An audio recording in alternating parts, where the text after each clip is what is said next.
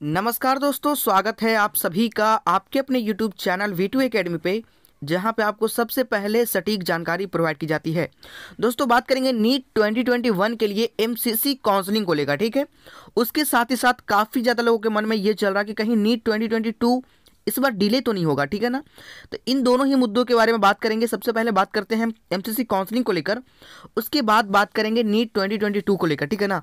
क्योंकि दोस्तों, आपको पता है कि एग्जामिनेशन जो हुई थी 12 सितंबर को आप सभी का, और अगर हम बात करें तो अब आपके एग्जामिनेशन हुए साढ़े तीन महीने से अधिक हो चुकी है, ठीक है ना?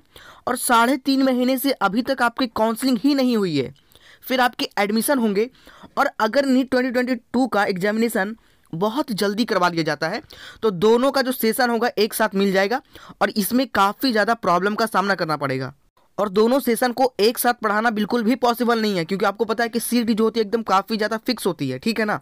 तो इस कारण से दोनों इसका एग्जामिनेशन तो डिले होंगे ही होंगे, कब तक होंगे एग्जामिनेशन इसके बारे में बात करेंगे। उसके साथ ही आपकी काउंसलिंग कब स्टार्ट होगी, इसके बारे में भी बात करेंगे, ठीक है? वीडियो के साथ आप पूरी बने रहिएगा, शुरू से लेकर अंत तक।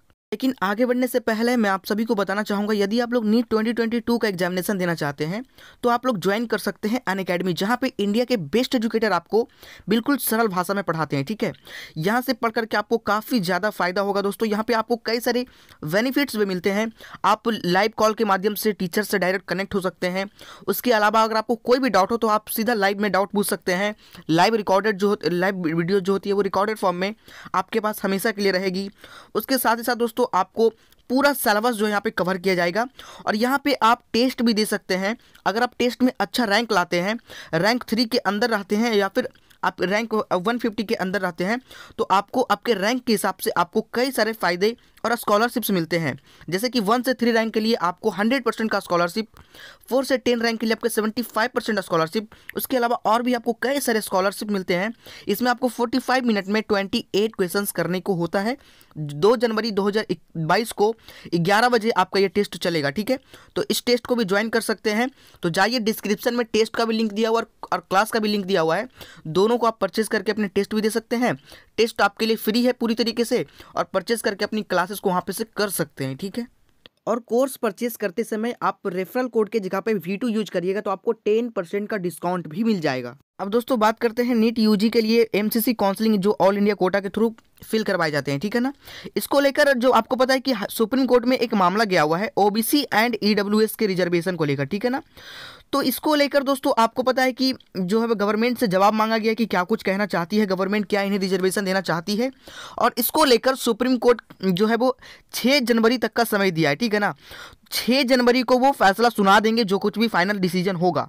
हालाँकि दोस्तों, पूरी तरीके से संभावना है कि छः को फैसला आ ही जाएगा, क्योंकि ऑलरेडी काफ़ी ज़्यादा डिले हो चुका है और अब डिले बिल्कुल भी बर्दाश्त नहीं होगी। ना तो संस्थान से बर्दाश्त होगी, ना किसी स्टूडेंट से बर्दाश्त होगी। ठीक है तो छः तारीख को अगर आपके फैसला आ जाते हैं तो जो कुछ भी होगा, आठ या फिर नौ तारीख को आपके काउंसलिंग दोस्तों स्टार्ट कर दी जाएगी। ठीक है ना? उसके बाद आप सभी की नीट 2022 का लेकर अगर हम बात करें तो आपके इस बार भी काफ़ी ज़्यादा डिले होगा। कम से कम जुलाई, अगस्त में आपकी एग्जामिनेशन कंडक्ट करवाई जाएगी। कम से कम तो जुलाई, अगस्त में। और एक, क्योंकि दोस्तों, इस बार वाला जो स्टूडेंट है उनको कम से कम एक साल पढ़ने का मौका तो मिलेगा ना। और आपको पता है कि इस बार ओमिक्रॉन वेरिएंट जो आ रही है, ये तो डिले करेगा ही करेगा, लेकिन आप मानकर तैयारी करिए, आप अप्रैल के बाद ही मानकर अपनी तैयारी को करिए, ठीक है ना? अप्रैल तक मान के करिए अपनी तैयारी को, हालाँकि अप्रैल में एग्जामिनेशन नहीं हो पाएगी। मई, जून जून भी नहीं, जून भी नहीं, बल्कि जुलाई, अगस्त में आपकी एग्जामिनेशन होगी। क्योंकि अगर ये पहले एग्जामिनेशन ले लेती है तो सेशन में डिले नहीं कर सकती। और सेशन में डिले करने का एक ही वजह कि एग्जामिनेशन ही लेट से लिया जाए। क्योंकि दोस्तों, आपको पता है कि एक साल ये सेशन पहले ही डिले हो चुका है ट्वेंटी वाला, है ना? इस कारण से आपके एग्जामिनेशन अगस्त तक तो जाएगी ही जाएगी, लेकिन आपको अप्रैल या मई मानकर अपनी तैयारी को करना है ताकि आपके पास अच्छा खासा रिवीजन का समय बच जाए, ठीक है? इस वीडियो में इतना ही, मिलते हैं नेक्स्ट वीडियो में। जय हिंद, जय भारत। चैनल को सब्सक्राइब करके बेल आइकन दबा लीजिएगा।